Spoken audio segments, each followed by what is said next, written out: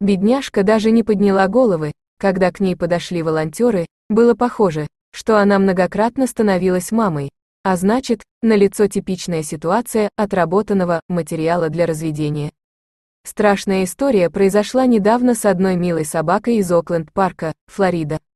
Ее хозяева, видимо, прогуливались по стройке без каски, нарушив правила безопасности, от чего серьезно пострадали головами. Или, возможно, это были последствия тяжелого менингита, или же родовая травма.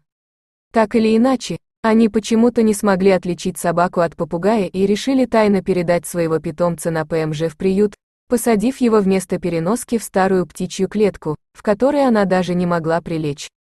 Сотрудники зоозащитного общества «Анимал Аид» были весьма удивлены, обнаружив утром печальную девочку-питбуля, ожидающую открытия приюта.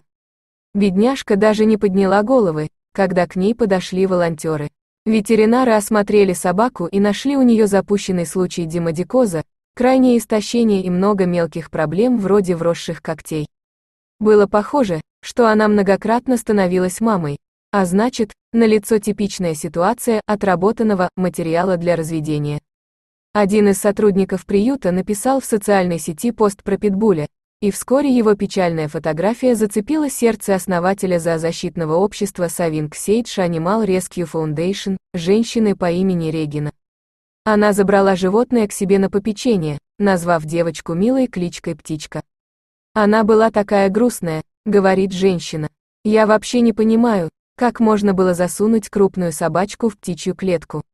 А, может, и ее и держали там какое-то время, только совершенно ненормальный мозг мог до этого додуматься.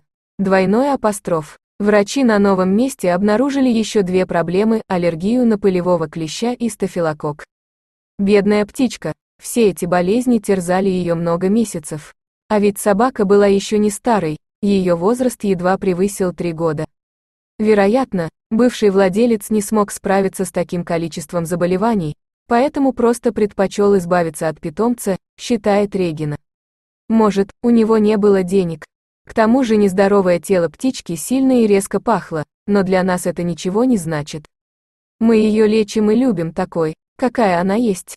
Двойной апостроф. И воспитанница женщины тоже отвечает ей взаимностью. Она всегда рада человеческому вниманию.